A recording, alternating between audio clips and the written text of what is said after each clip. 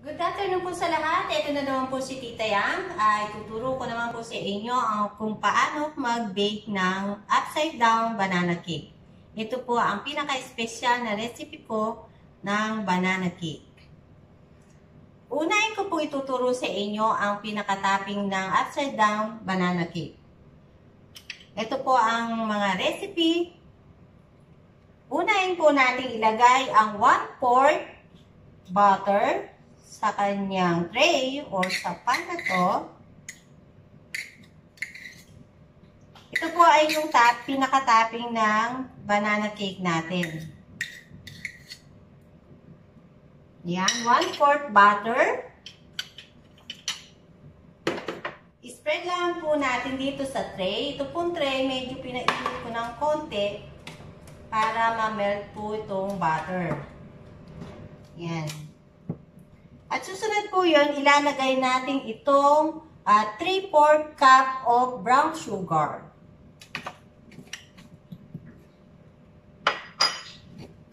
Pagkalagay po ng brown sugar, iyahalo lang po, i-mix sa butter na ganito. Ayan po. At i-add din po natin ang 1 teaspoon of uh, cinnamon powder. Yan, may measuring uh, teaspoon po tayo dito. 1 teaspoon of cinnamon powder. Ito po yung sa topping. Kailangan nyo po nga uh, sunod-sunurin ito para no, hindi kayo nagkakamali. Kaya panoorin nyo po hanggang huli. Ayan po ang pinaka-topping.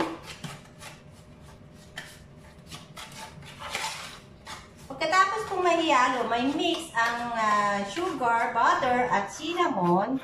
Susunod po natin yung sliced banana.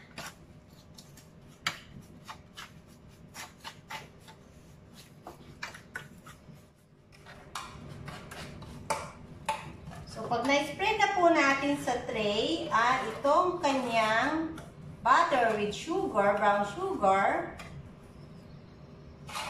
yan. Para po hindi po dumikit yung ating cake mamayang ibibake natin. Ayan. Kaya ko po pinapakita sa inyo maayos para uh, ma-perfect nyo na ang pagluto ng upside down banana cake. Ayan po, nagmagta po yung brown sugar with butter.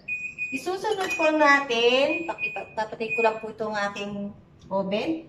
Susunod po natin itong ilagay ang banana na sliced banana. I-arrange po natin sa tray na ganito. Conforme po yan sa laki ng tray nyo. Pero ito pong tray na ito ay um, mga medium size lang po ito. Kaya tama-tama po ito kung magpareregalo nyo okay. O pang birthday, sa ano mga okasyon, tama-tama po ang size na to. Guys, uh, sundin nyo lamang po ang mga procedure kung paano po siya ginagawa para ma-perfect nyo siya. Yan, i-arrange lang po ang slice banana sa tray. Kung meron po kayong apple, pwede nyo po siyang uh, haluan ng apple yung pinaka-topping para may iba po siyang flavor. Yan, ang pinaka-topping. Yan, punuin lang po siya ng ganito. Ay, sorry. Ayan. Pag napuno na po ito, isusunod na natin gawin yung pinaka-cake niya. Papakita ko rin po sa inyo kung ano ang mga ingredient nito. Pwede rin po itong pang negosyo, guys. Kaya marami po kayong matututunan sa akin bukod sa pagluluto, paghahalaman, at marami pang iba na konti kaalaman na idadagdag ko rin na i-share sa inyo, lalo na sa mga nagtatrabaho sa bahay, lalo na po sa mga OFW na nagre-request pag nagpupusa ko, hinihingi nila ang mga ingredient ng mga linuluto ko. Ngayon po, ang pagkakataon na mapanood at masubaybayan nyo para makuha at uh, ang tamang pagluluto. Kaya keep watching po. Huwag po sana kayo magsasawa sa panonood ng mga binablog ko.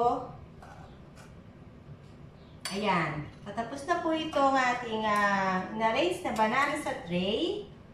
Pagkatapos po nito, set aside po natin niya siya. Gagawin po natin yung second, ano, yung sa cake po. Kukuha po tayo ng mixing bowl. Unahin po natin yung mga dry uh, ingredient. Uh, ito po, kakailanganin po natin ng 1 and a half raisin flour. Raisin flour po ang ginagamit ko sa banana cake. Kung wala naman po, pwede naman pong i-alternate yung uh, all-purpose flour. Pero ako po, ginagamit ko po itong raisin flour. Ayan, unahin natin yung mga dry ingredient. 1 and a half lang po, 1 and a half flour. Itong flour po ito ay uh, maganda.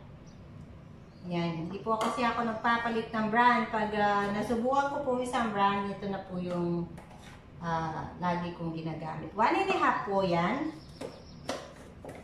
Susunod po yung white sugar. 3-4 white sugar. Susunod po natin ang baking powder. 1 teaspoon of baking powder.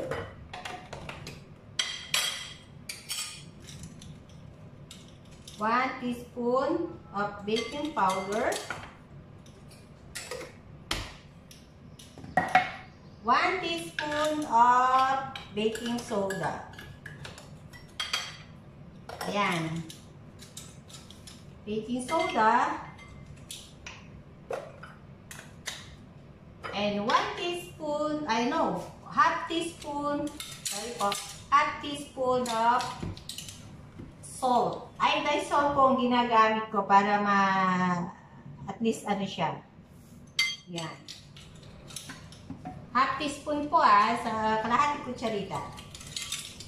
Pagkatapos po niyan, i-mix natin yung mga dry ingredient at isusunod na natin yung mga liquid uh, ingredient.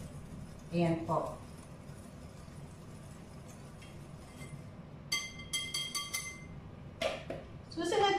Po itong butter. Ayan, 3-4 uh, uh, butter.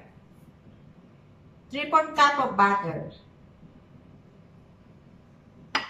Susunod po natin ang egg. 1 whole egg. Yan, with egg yolk po yan. Buo pong isang itlog. At yogurt.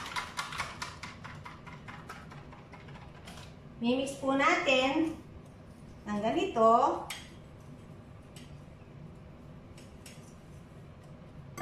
Ilalagay natin itong yogurt. Isang buong yogurt non-flavor po. Ano lang po ito? Ah, uh, yung original na flavor yogurt na wala po siyang flavor. Ayan.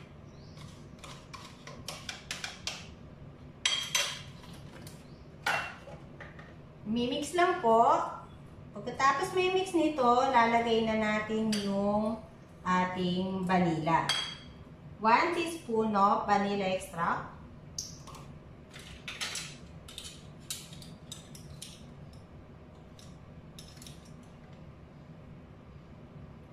Yan po.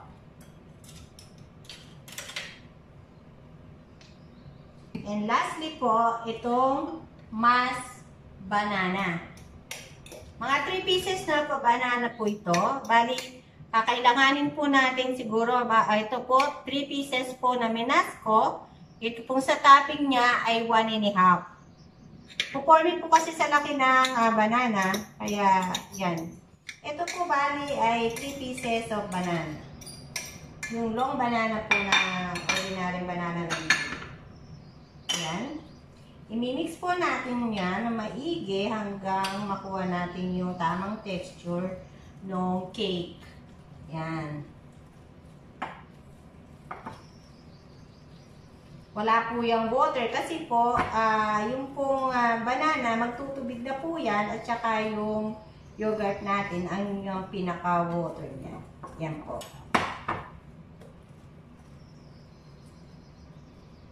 Ganyan lang po siya kadali.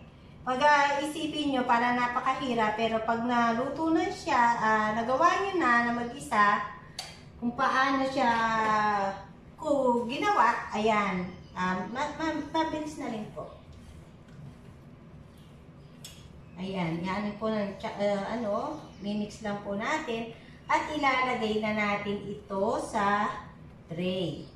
Nagpainit na rin po ako ng oven ng 100 ah, Celsius, ay 180, excuse me, wrong po, 180 Celsius sa ah, 10 minutes. Yan, tinayin ko po, pinainit ko muna. Kasi po, pag hindi nyo pinainit ang oven, ah medyo titigas po ang cake na gagawin natin. Ibibake natin. So, kaya kailangan po na ipainit muna bago ito isalang. O, yan po, lalagay po, lalagay po sa tray ito. Ayan, ganyan lang po siya kadali.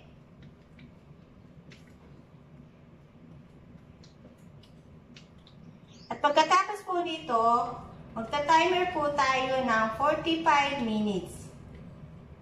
Maluluto na po yung cake natin. O, yan po. Iayusin lang po natin siya. Ito na po siya. Ayan, yummy po. Ito po ay natikman ng boss ng boss nila. Sabi po nila, ito po ang pinaka-best na banana cake na natikman nila. So, sana po nagustuhan nyo ang munting ah, recipe ko ngayon. At ah, salamat po sa mga nag-comment at nag-PM sa akin na ginaya nila ang mga lutuin ko na in-upload. Sana po, wag po sana kayo magsasawa sa pagsubaybay at panunood sa aking mga ina-upload sa YouTube. So, thank you for watching. Like, paki-like po, paki-share at subscribe na rin po. Paki-click po ang button um, bell or click po ang bell para po ay makapag-update po kayo sa mga na-upload ko. Thank you po. Hanggang po sa muli. Bye-bye.